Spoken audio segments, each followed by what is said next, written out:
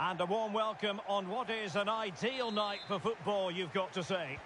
I'm Derek Rae on the commentary gantry and sharing duties with...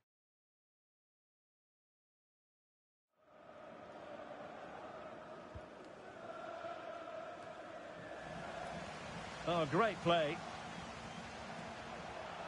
Can he finish? Oh, a goal to give them breathing room. Perhaps the one that will keep them up. Yeah, Decent reading of that ball in. Uchida. Daniel. Struggling to keep the ball. Fay. He's going forward well here. And a goal!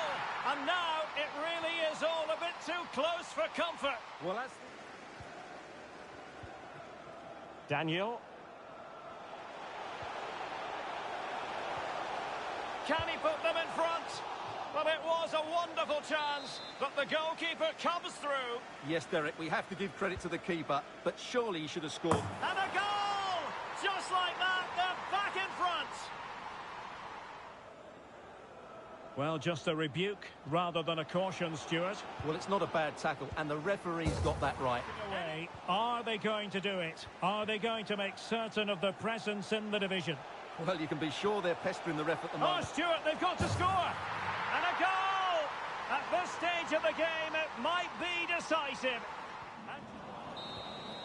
And there goes the final whistle. Now we can say it. They'll be staying in this division next season. No relegation for them, Stewart. Yeah, what relief for the players and the manager. It's been a really difficult season for them, but they're safe, and that's all that matters. They'll need to be better next season, that's for sure.